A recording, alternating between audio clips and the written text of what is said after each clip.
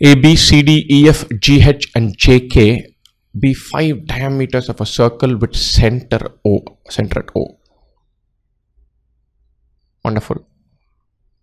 Uh, A, B, C, D, E, F, G, H, and G, K. Five diameters of a circle with center at O. In how many ways can three points be chosen out of A, B, C, D, E, F, G, H, J, K?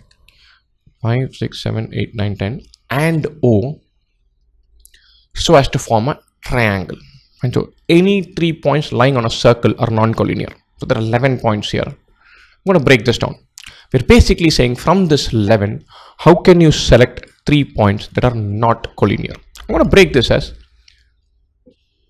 some 10 of these. And so some 10 of these, out of these 10, you select any three.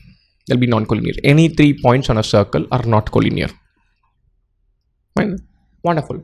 Now let's think about o. O separately. And let's have o here at the center. Then out of the remaining 10 we can select some 2 that's the way to go about it.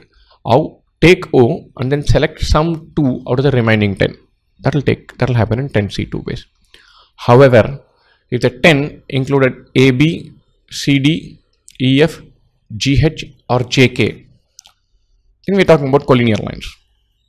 This will not be a triangle. This will not be a triangle. This will not be a triangle. Those we'll have to subtract. Those we'll have to remove. So to 10C3, add 10C2. And then from this, subtract 5. The 5 selections of AB, CD, EF, GH and JK. AOB, COD, EFO, GOH, JOK will not be triangles. Pretty much anything else will be a triangle. So 10C3, 10 into 9 into 8 by 1 into 2 into 3, 10C2, 10 into 9 by 2 minus 5.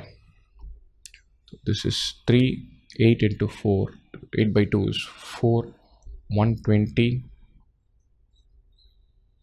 plus 45 minus 5 120 plus 40 160 you could imagine this as 11 c3 11 into 10 into 9 by 1 into 2 into 3 this is 3 this is 5 15 into 11 is 165 minus 5 that's the other way of thinking about it.